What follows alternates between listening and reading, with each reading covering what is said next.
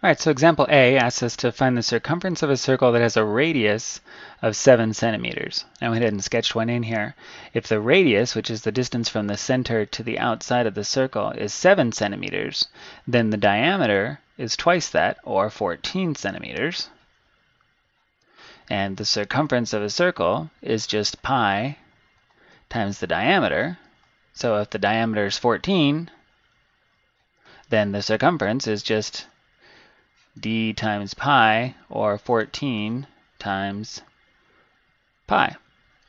So our circumference is 14 pi. And usually you can leave your answers in terms of pi. Um, it will depend on the actual question, but this one it didn't say.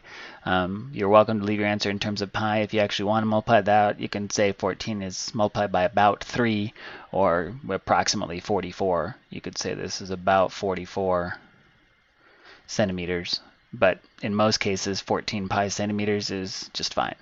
Okay, example B. The circumference of a circle is 64 pi units. Find the diameter. So our circumference is our distance around, that's 64 units. We want the diameter, which is the distance across, right? So remember our little our little shape says that circumference is pi times the diameter. And since we're given the circumference, we know that that 64 pi is got to be the same as pi times the diameter, right? So c equals pi d.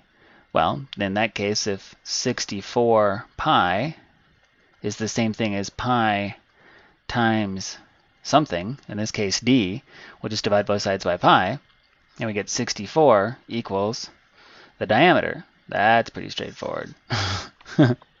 okay, example C.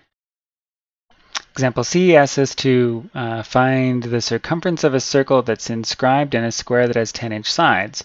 And we can just leave our answer in terms of pi, it says. So what we know is that the square is 10 inches corner to corner, and if the circle is inscribed within the square, then that means it just touches at these four sort of corners here, these four midpoints of the square. That means that the diameter of the circle must also be 10 inches because it's going to just go across that 10 inch square. And if the diameter of the circle is 10, inch, 10 inches, then finding the circumference is easy. We know that circumference is just pi times the diameter. So if the diameter is 10 inches, we have pi times 10 inches, or the circumference of the circle is 10 pi inches. And we're done.